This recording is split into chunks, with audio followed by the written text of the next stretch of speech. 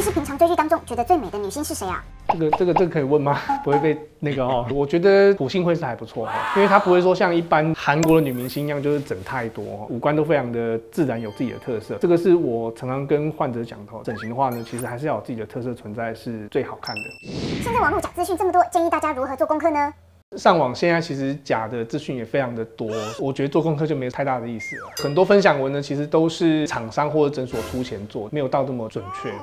如何分辨诊所给的术前说照是真是假？直接就是用手机修图，我就觉得可以不用相信了。有些诊所会用相机拍 before，然后 after 的话全部都是用手机修图。那一种诊所，你只要看到几张图就差不多就可以不用相信。而且很多诊所现在都会五大保证、十大安心，这个其实都是讲太多了。因为台湾其实规范算非常的多，常常都觉得头皮发麻不舒服。这样子的规范其实已经算是基本配备了。病人问哪些问题会让你爆气？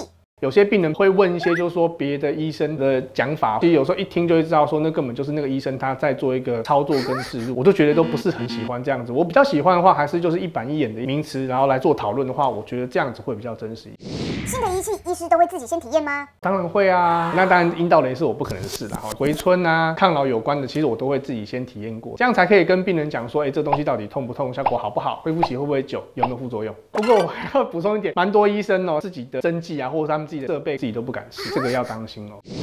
什么样的人打电波拉皮或双波拉皮呢？每个人都要打电波拉皮加音波拉皮。一般人会问说，哎，我是打这个有效，打那个有效？我们自己的患者呢，几乎是两种都打。那一般人会讲说，哎，那这样的话，你不需要什么判断？或什么之类的吗？需要的哈。如果说假设我们今天在做塑脸方面的治疗的话呢，必须要做一些精准的判断。但是如果说抗老的话呢，我就会建议打电波拉皮加上一部分的音波拉皮，让你脸的年龄保鲜保持，甚至逆转。这个是每个人都需要的需求，所以我认为是每个人都要打。